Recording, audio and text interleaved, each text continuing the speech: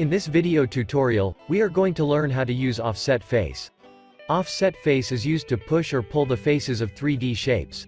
To add or remove the thickness. First, we need to create a 3D shape. So let's start to create the cylinder. Click Sketch. Click Circle. Click the top face to define the workplace. Click the design area to place the center point of the circle. Move the mouse and define the radius dimension to 10 centimeters. Press enter to confirm. Click the button view. Click default view to turn on standard view. Click close.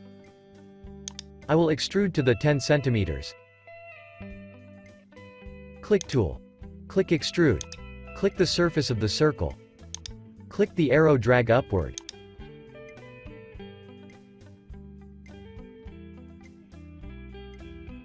And enter 10 centimeters. Press enter to confirm. Click done. Now I have finished creating a cylinder. I will apply the offset face to the top face of the cylinder. Click tool. Click offset face. Click the top face cylinder click the arrow and drag upward if you want to increase the length of the cylinder. Or drag downward to decrease the length of the cylinder. You could define the specific thickness, by entering the exact number.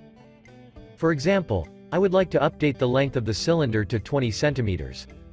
I enter 20 by using the keyboard and pressing enter. And then click Done.